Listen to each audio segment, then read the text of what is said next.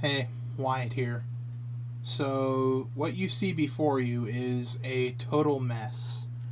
And that is because I am. Uh, Wyatt Adventure, how it all began, is not going to use the usual puppets per se, but rather these ones that you apparently that can wear different outfits and have changing faces.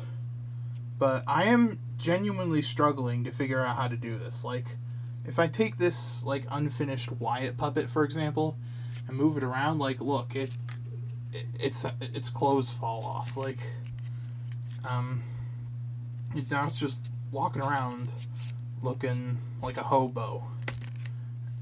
I mean, this is a neat idea. These are what movie quality puppets are, but I am genuinely struggling to figure out how to make and operate puppets of this quality. Oof. But I'm sure I will get the hang of it.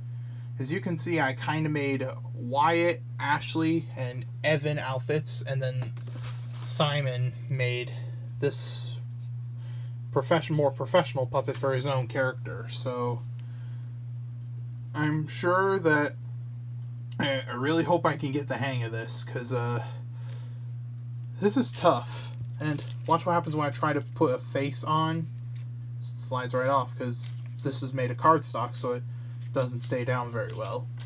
I'm going to put this on you again and and it just goes sliding off. And you can bounce him around and yeah, his little shirt comes off. Yeah, I hope I can figure this out soon because this is tough.